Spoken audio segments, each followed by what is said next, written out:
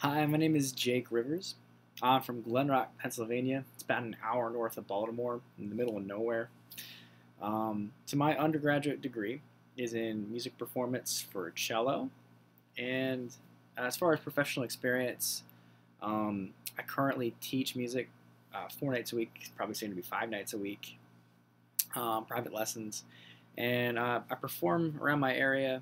Um, I'm a singer songwriter. I go by Jake Matthew Rivers, um, and I, I sing and I play the cello and do music like in that medium.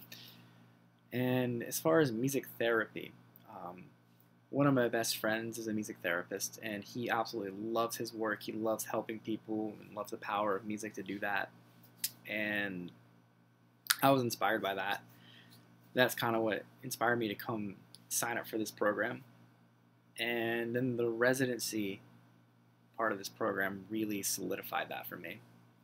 Uh, I kind of came in and like, ah, I kind of want to be a music therapist, and then um, in the the residency, just interacting with other people, just being in love with music and wanting to use music to help people, and actually seeing uh, some some actual footage from sessions and understanding what actually goes on and what the goals of music therapy are.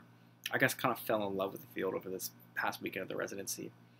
So I'm really excited to be here and really excited to learn and move forward with this. So